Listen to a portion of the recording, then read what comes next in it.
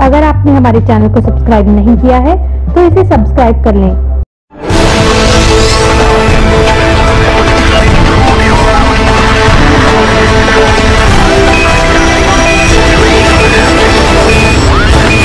आठ साल की बच्ची असफा के साथ हुई दरिंदगी का मामला लगातार गर्माता जा रहा है, जिसके केरोश में आज भागता भाईका में आम जनता द्वारा कैंडल मार्च निकाला गया। साथ ही दोषियों को सख्त से सख्त सजा देने की मांग की गई।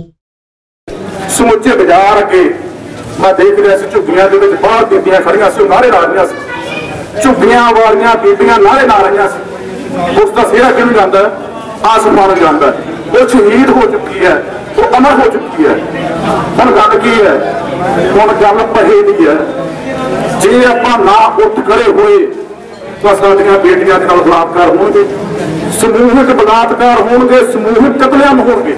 ਇਸ ਕਰਕੇ ਮੈਂ ਜ਼ਿਆਦਾ ਵਿਸਥਾਰ ਦੇ ਵਿੱਚ ਨਹੀਂ ਜਾਣਾ ਤੁਹਾਨੂੰ ਬੇਨਤੀ ਕਰਦਾ ਕਿ ਹਿੰਦੂ, ਮੁਸਲਮ, ਸਿੱਖ ਈਸਾਈ ਅਸੀਂ ਸਾਰੇ ਇੱਕ ਹਾਂ, ਅਸੀਂ ਇਸ ਦੇਸ਼ ਦੇ ਗੁਲਦਸਤੇ ਦੇ ਫੁੱਲ ਹਾਂ ਤੇ ਇਸ ਗੁਲਦਸਤੇ ਨੂੰ ਮਰੋੜਿਆ ਜਾ ਰਿਹਾ ਹੈ, ਤੋੜਿਆ ਜਾ ਰਿਹਾ ਹੈ। ਉੱਠ ਖੜੇ ਹੋਵੋ, ਸਿਆਣੇ ਹੋਵੋ, ਇਸ ਗੁਲਦਸਤੇ ਨੂੰ ਬਚਾਓ। ਆਪਾਂ ਸਾਰੇ ਇੱਕ ਹੈ, ਹਿੰਦੂ, ਮੁਸਲਮ, ਸਿੱਖ ਇਸਾਈ ਅਸੀਂ ਸਾਰੇ ਭਾਈ ਭਾਈ ਹੈ ਜੇ ਕਿਸੇ ਹਿੰਦੂ ਨਾਲ ਧੱਕਾ ਹੁੰਦਾ ਤਾਂ ਸਾਰੇ ਖੜੇ ਹੋ। ਮੁਸਲਮ ਨਾਲ ਧੱਕਾ ਹੁੰਦਾ ਤਾਂ ਸਾਰੇ ਇਕੱਠੇ ਹੋ ਜਾਓ। ਈਸਾਈ ਨਾਲ ਹੁੰਦਾ, ਸਿੱਖ ਨਾਲ ਹੁੰਦਾ ਅੱਜ ਆਸਮਾਨ ਦੇ ਲਈ ਅਸੀਂ ਸਾਰੇ ਖੜੇ ਹੋਏ ਹਾਂ।